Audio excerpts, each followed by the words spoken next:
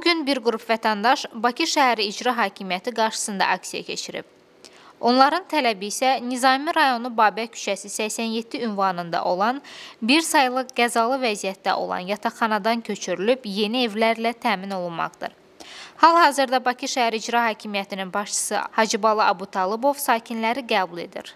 Xalqımızın tələbi, cəmaatın tələbi nə ola bilər? Bina uçur, kökülür, cəmaat gecə evində yata bilmir. Körpələrin götürüb gedir qonşuda, qohumun evində yatırlar ki, bina çökəcək. Biz də gəldik Həzbola müəllimin yanına, sağ olsun, sərəncam verir. Sahibkarla danışır ki, müqavilə bağlasın sakinlərlə, sakinlərin arzuları yerinə yetirilsin, xahişlərinə baxılsın. Bina da ya nə müqavilə bağlayacaqlar, bağlı. Bina tikilərsə də onlara mənzillə, bu sakinləri mənzillə təmin eləməlidir. Binamız yararsız vəziyyətdədir. Ona görə cəmaət şikayət edibdir. İstəyirlər ki, bina təmir olsun ya da cəmaatı köçsünlər.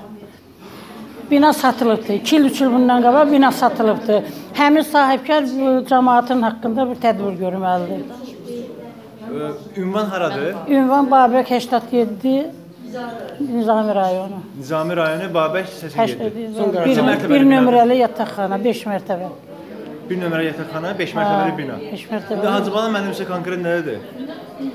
Söz veribdi ki, kömək eləyəcək. Söz verdi ki, tikinti dayandırılacaq. Hə. Sakinlər yerləşdirilsin, ondan sonra tikinti başlanılsın. Qəzalı binadır. Uçulan yerləri də var.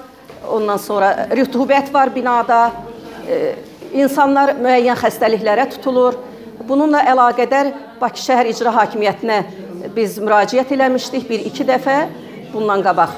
Binamızın yanında yeni bir bina tikilir və o binanın tikilişi də binamızın qəzalı vəziyyətdə olmağını biraz da artırır, qəzalılığını biraz da artırır. Yəni bizi qane eləyən bir cavablar hələ ki əldə eləyə bilməmişdik bu günə qədər. Ancaq bu günləri Hacı Bala müəllim bizim o narahatçılığımıza bu günləri son qoydu və biz bizə elə gəlirdi ki, bu günə qədər yalnız prezident bizlə məşğul olur da, bu biri qurumlar e, heç bizə o qədər məhəl qoymurdular.